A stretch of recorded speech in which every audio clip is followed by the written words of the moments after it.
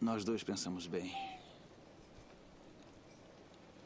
A Kelly fez as contas. Sabia que tinha que me esquecer. Também fiz as contas. E soube que a tinha perdido. Porque eu nunca ia sair daquela ilha. Eu ia morrer lá. Sozinho.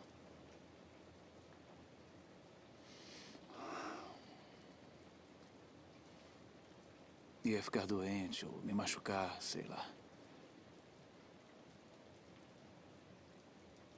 A única coisa que eu tinha. A única coisa que eu podia controlar era quando e como e onde iria acontecer. Então, eu fiz uma corda e eu fui pro penhasco para me enforcar. Mas, mas eu tinha que testar, não é? É claro. Você me conhece. E o peso do tronco rachou o centro da árvore. Então eu.